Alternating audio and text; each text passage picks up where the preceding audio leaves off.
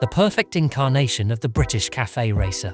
The B65R has all the typical elements of a naked road sports, bike around BSA's 650cc engine unit. No frills or enhancements that provide no riding benefits or weight savings, just high quality components and pure pragmatism. A blend of riding pleasure and aesthetic essence.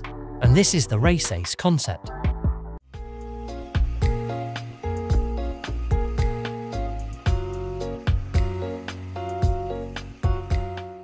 British cafe racer designs usually have some distinctive features that set them apart from other styles in the custom motorcycle world.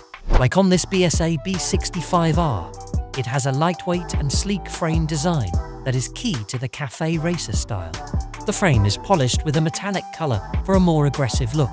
The drop or clip-on handlebar provides a more aggressive riding position, allowing the rider to lean forward and grab the handle easily when going fast. The slightly oval headlight, often with a retro or vintage design, is one of the classic cafe racer characteristics.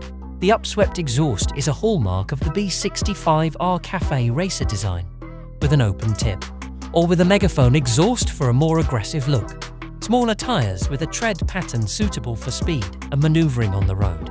The BSA B65R includes vintage details, such as classic emblems or logos from the motorcycle manufacturer.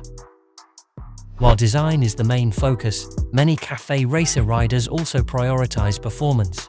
This could include an upgraded engine, customized suspension, and updated brakes to improve performance.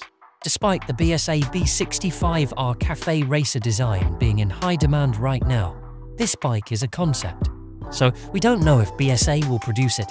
What do you think about this? Please post it in the comments section.